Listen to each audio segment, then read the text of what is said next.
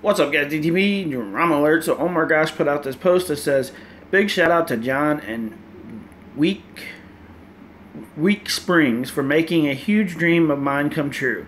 Special thanks to these two women for being such wonderful mermaids. Uh, if if you're going to go watch Omar Gosh's video with the mermaids and the lady over there, do not watch any more of this video because I'm going to spoil it for you."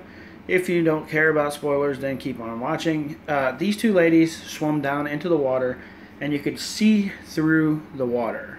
Like, and as they were down there, they had this uh, this little poster that they're holding, where they uh, Omar asked on this poster to the woman over here if she would marry him, and she said yes, and they are in the process of eventually down the road getting married. So, congratulations to Omar and his woman. It was very, very, very well done.